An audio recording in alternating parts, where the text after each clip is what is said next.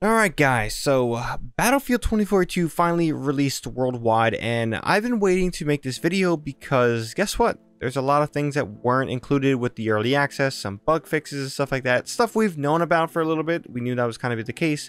So how do I feel about the launch state post release of this game? How do I feel about Battlefield 2042? Well, like I said in my previous video, I'm having a lot of fun with this game. But just because I'm having fun with the game doesn't make it a good game.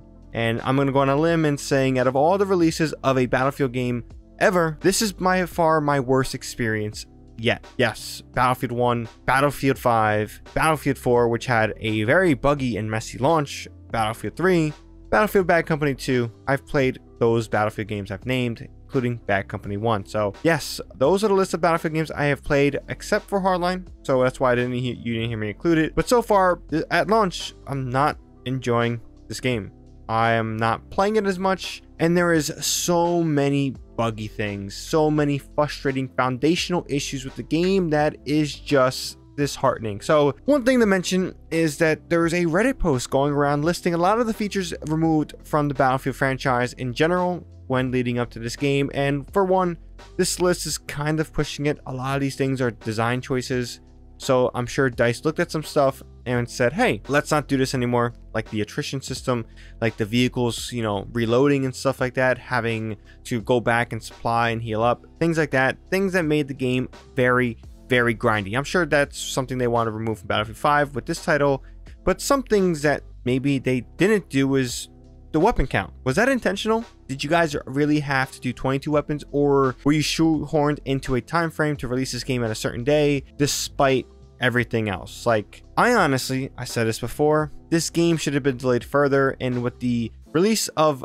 Halo Infinite early and Call of Duty Vanguard, which are both phenomenal titles, first person shooters right now. I think we have gone through probably the best shooter drop rate of like, you know, quality of shooters we have gotten in a very long time. It's been like since probably say Halo 3 came out.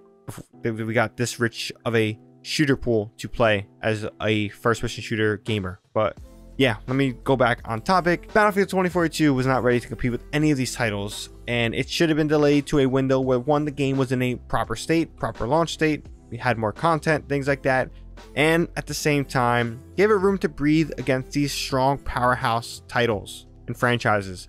Battlefield is a strong title, but at the same time, when it doesn't release in a proper state, like this one, guess what, guys? No one's gonna give a shit. So, the moral of the story of this video, what I've been saying this whole time is, I'm not posting a Battlefield 2042 video until this game gets in its proper state. For one, I'm tired of EA doing this shit with Battlefield.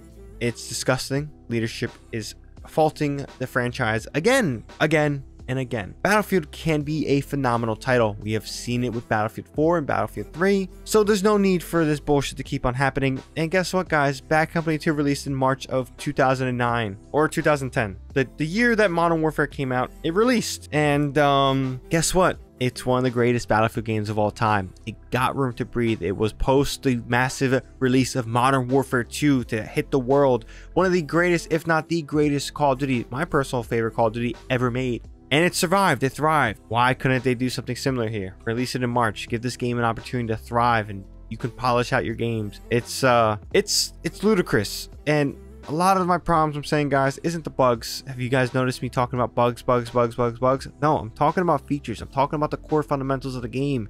A lot of the shit just wasn't given enough thought. Weapon content, mediocre. We're talking about a gunsmith feature in Call of Duty Vanguard. I'm gonna say this right now. It is so disgusting that an indie game called World War III has more in-depth weapon customization than a AAA shooter called Battlefield 2042. World War III inspired the gunsmith system. Call of Duty saw that and said, hey, let's do it. Now, do I know that they saw that? Probably not, but I could take a good guess and saw that, hey, look at this indie team do a system like this. Let's try to do something like this because it one helps weapon customization. Another thing too, it helps player customization in terms of player gameplay styles. Why couldn't DICE do that? Like, it's kind of a norm. And then we have this kitty jokey customization system. Oh my god. It's it, it wasn't given enough thought. I feel like this game was rushed together for a release, and that's EA's motto with their multiplayer live service games. We have seen it with Anthem, we have seen it with Mass Effect Andromeda, we have seen it with multiple Battlefield titles now. It's just absolutely unreal, and yeah, again, more weapons, better designed maps in terms of focusing on some infantry combat or at least some engaging combat. Like I do get a lot of moments of high octane stuff, but there's no flow to each map. And even though I like a lot of these maps, there's not enough flow for me to be like, hey, this feels like a very properly designed, well thought of, very play tested map. Doesn't feel like that. Kind of feels like you play Breakthrough, you have a good time, Chaos, and that's that. You can play Conquest, which I'm having fun with, but at the same time, there's parts of the map that just don't flow right at all, and you kind of feel like, what am I doing? It's just, it's kind of crazy. And then the gun mechanics are just all out of whack. Nothing's polished. The weapons don't perform how they should. Weapons have crazy bloom than they intended. And that's just all ridiculous. It creates a frustrating experience. And guys, it's not what you want to have on your launch release window. You want to have a fun experience. You want to have a honeymoon period of time. And not once did I ever have a honeymoon period of time with this game. And that's troublesome. So this is the worst release window or release of a Battlefield game ever. Yes, ever. Battlefield 4 had some crazy ass fucking bugs, but I had so much fun with that game. Battlefield 3 was frustrating, and the suppression system was crazy, and all these different things, but guess what? I had more fun with that game than I have with Battlefield 2042. And yes, I'm having tons of fun with this game, but I'm not playing as much as I could or should be compared to other titles. I play like a one or two games, and I'm like, eh, let's go to Halo Infinite. Let's go to Call of Duty. Like, it's, it's something I never thought I'd be saying and even though Portal's great, it's a phenomenal fun mode, it's not enough.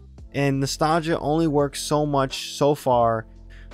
So until they do more, until they add more, I'm not going to be covering this game at all. Maybe when it comes to some updates, some patches, some positive news in terms of some updates and fixes, but when in terms of gameplays, best setups, montages, none of that just yet. I'm gonna hold off with that stuff. But with that being said, guys, that's all I gotta say on this video. If you guys have been playing Battlefield 2042, let me know what you guys' experiences. If you want to share, are you having a blast and you think it's the greatest game, or are you like me, having fun but massively disappointed and think that it should have been delayed? I've been seeing a lot of people, and I've said this before. This game should have been delayed. There's nothing wrong with that. I would have been perfectly fine. Those saying that, hey, I get to play it while it gets fixed no, guys, this isn't a free to play game. This isn't an early access game where you pay $15 to play early and then you have to pay a little bit more later to play the full version.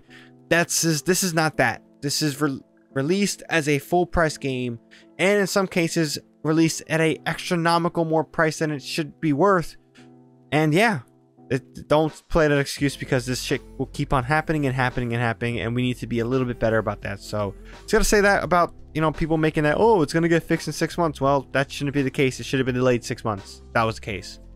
But yeah, massive fan of the franchise. No one tell, can tell me otherwise. I have thousands upon thousands upon thousands hours into multiple games, so no one can talk shit to me about me not being a veteran. So, yeah, that's not me trying to be an asshole. That's just me trying to say like, hey, this is the consensus of a lot of people out there that love Battlefield. So yeah, let me know what you guys think. If you guys want to share, if you guys enjoy this video, found it informative, definitely drop this video a like. If you guys are new here, want more content from me, whether it's Call of Duty Vanguard, Halo Infinite, Destiny 2, or hopefully down the line some more positive Battlefield 2042 videos when they start getting their act together, definitely hit that subscribe button. With that being said, guys, all I gotta say on this one, Sean here, and I'm out.